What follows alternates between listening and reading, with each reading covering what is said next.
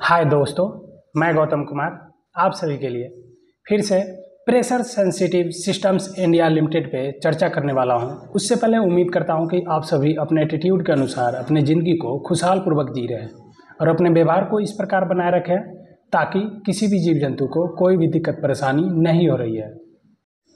Pressure sensitive systems India limited में एक खास बात देखने को मिली है। जो कि काफ़ी अच्छा है इस स्टॉक के लिए। बाकी इन्वेस्टमेंट अपने बुद्धि विवेकानुसार और सूझबूझ के अनुसार ही करिए दोस्तों। Pressure sensitive systems India limited जिसका कि शेयर प्राइस आठ रुपया दस पैसा B S India dot com यानी कि बम्बे स्टॉक एक्सचेंज पे इसका लास्ट शेयर प्राइस है। इसमें लास्ट अपडेट न्यूज़ एक सात दो हज़ार चौबीस का ही है। Share holder meeting postal ballot scrutinizer report इस शेयर में, जो कि सबका सोच होता है कि एक खराब आदत किसी भी शेयर का प्रमोटर का होल्डिंग नहीं होना तो वो चीज़ इसमें विद्यमान है। बाकी पब्लिक के पास में हंड्रेड परसेंट शेयर है। बट एक ख़ास चीज़ जो देखने को मिल रही है अभी पाँच जुलाई 2024 सोलह सौ बजे का अपडेट है, जिसमें कि क्वांटिटी ट्रेडेड हुआ तीन लाख अट्ठाईस हज़ार छः सौ तीन, जबकि डिलीवरी में उठाया गया दो लाख अंठावन हज़ार चार सौ। यानी कि डिलीवरी परसेंटेज जो है, काफ़ी अच्छा है, seventy eight point six four percent. यानी कि ये इस शेयर में ये दर्शाने को तैयार है कि इसमें हो सकता है कि अपर सर्किट भी लग सके। हंड्रेड परसेंट तो नहीं बोल सकते हैं, लेकिन फिफ्टी फिफ्टी चांस है। बाकी इन्वेस्टमेंट अपने बुद्धि विवेकानुसार और सूझबूझ के अनुसार ही करिए दोस्तों। मैं वीडियो बनाता हूँ ओनली वन नॉलेज पर्पस जो आपको स्क्रीन पर दिख रहा है स्क्रीनर डॉट इन वेबसाइट का नाम है। इस पर कुछ मुख्य खास बातें देखने के लिए तो करेंट प्राइस आठ रुपया दस पैसा है और बुक वैल्यू तेरह रुपया चालीस पैसा है। बुक वैल्यू से काफ़ी नीचे में ट्रेड कर रही है ये शेयर मार्केट कैप 120 करोड़ का, बहुत ही छोटा कंपनी है। मार्केट कैप के मामले में। और आर ओ सी एक सौ चौदह परसेंट और आर ओ ई एक सौ चौदह परसेंट, दोनों ही सेम है। और P E point eight five यानी कि इस शेयर से ये उम्मीद लगाया जा सकता है कि इस शेयर का प्राइस बढ़ेगी।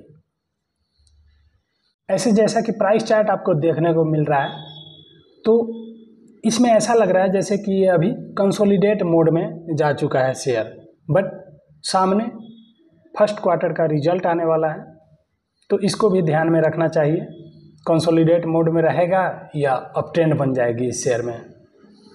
पीयर कंपैरिजन के मामले में यानी कि समझ लीजिए कि एक तरह से इस क्षेत्र में काम करने वाला कंपनी मुझे तो यही समझ में आता है। तो देख सकते हैं कौन कौन सी कंपनी है, जिस सब का पी काफ़ी ज़्यादा है और शेयर प्राइस भी बहुत ज़्यादा है, लेकिन सबसे लो में पी इसी का है। यानी कि pressure sensitives systems India limited का है, जो कि पीई पॉइंट में है पॉइंट एट फाइव और प्राइस भी आठ रुपया दस पैसा यहाँ पे शो हो रहा है। तो काफ़ी नीचे में अभी ये शेयर मिल रही है। बाकी इन्वेस्टमेंट अपने बुद्धि विवेक अनुसार और सूझबूझ के अनुसार ही करिए दोस्तों। इस जगह पे ध्यान में रखने वाली बात है, दिसंबर 2021 से लेकर के दिसंबर 2022 तक कोई भी सेल्स कुछ भी इसका एक्सपेंस ये सब देखने को नहीं मिला है। लेकिन मार्च 2023 से लेकर के मार्च 2024 तक का जो रिज़ल्ट है, काफ़ी अच्छा है, बेहतर है, मेरे समझदारी के अनुसार। बाकी आप लोग देख सकते हैं और समझ सकते हैं। वन ईयर का रिज़ल्ट अगर देखते हैं तो देख सकते हैं मार्च 2024 जो कि क्लोजिंग ईयर था, उसमें सेल्स इकतालीस करोड़ का था। वहीं पे मार्च 2024 का क्लोजिंग ईयर में, तीन सौ उनचास करोड़ का सेल्स हो गया। काफ़ी अच्छा ईयर ऑन ईयर बेसिस पे सेल्स ग्रोथ देखने को मिला है। वहीं पे एक्सपेंस ग्रोथ भी काफ़ी ज़्यादा है, यानी कि बहुत अच्छा है। और ऑपरेटिंग प्रॉफिट भी, उसमें ग्रोथ ये सब की अपेक्षा थोड़ा सा कम देखने को मिला है। और यहीं पे ईपीएस में अगर ग्रोथ देखते हैं तो मार्च 2023 की अपेक्षा मार्च 2024 में काफ़ी अच्छा ईपीएस आया। नौ रुपया चौवन पैसा, जहाँ पर कि दो रुपया उनसठ पैसा था।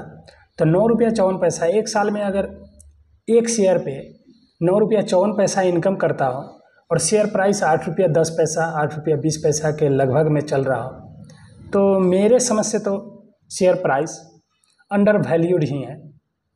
बाकी इन्वेस्टमेंट अपने बुद्धि विवेक अनुसार ही करिए दोस्तों। बैलेंस शीट में भी कुछ देखने का बात है, जो कि मार्च 2023 में, इसके पास में रिज़र्व चौंतीस करोड़ का था, वहीं मार्च 2024 में एक सौ चौरासी करोड़ का हो चुका है। काफ़ी अच्छा ग्रोथ देखने को मिला है रिज़र्व में भी। अदर एसेट में भी वृद्धि देखने को मिला है, जहाँ पर कि उनचास करोड़ का था मार्च 2023 में, वहीं पे मार्च 2024 में एक करोड़ का हो चुका है। इन्वेस्टमेंट बराबर ही है, सेम है, दो करोड़ का, दो करोड़ का, दो करोड़ का। एक और बात है कि इसमें फिक्स एसेट मार्च 2024 में एक करोड़ का देखने को मिल रहा है। इस कंपनी का कामकाज क्या है? तो बनाता है, क्या बनाता है? तो साल्ट एडहेसिव टैप्स ये इसका मुख्य कार्य है, यानी कि बनाने का कार्य है। इस चित्र में आपको कुछ जगह पर दिख रहा होगा, प्रेशर सेंसेटिव एडहेसिव टैप्स से संबंधित। तो यही है साल्ट एडहेसिव टैप्स बाकी आप समझ, आप लोग समझ सकते हैं कि किस तरीके का इसका बिज़नेस है और क्या हो सकता है, इसका फ्यूचर कैसा हो सकता है। बाकी मेरे आइडिया अनुसार तो इसका फ्यूचर ब्राइटनेस है।